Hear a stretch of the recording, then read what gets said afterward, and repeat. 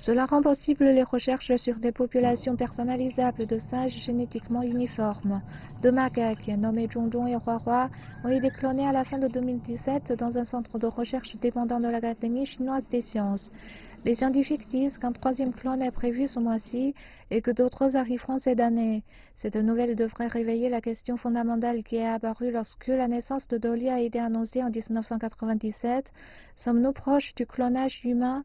Les scientifiques disent que le clonage des singes va aider à mieux comprendre des maladies particulières qui affectent les humains et qu'il n'est pas nécessaire de créer des doubles génétiques de ces derniers. Nous ne pensons jamais au clonage humain.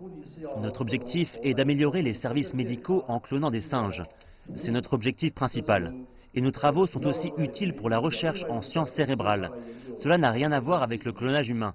Mais je sais que c'est ce qui vous préoccupe.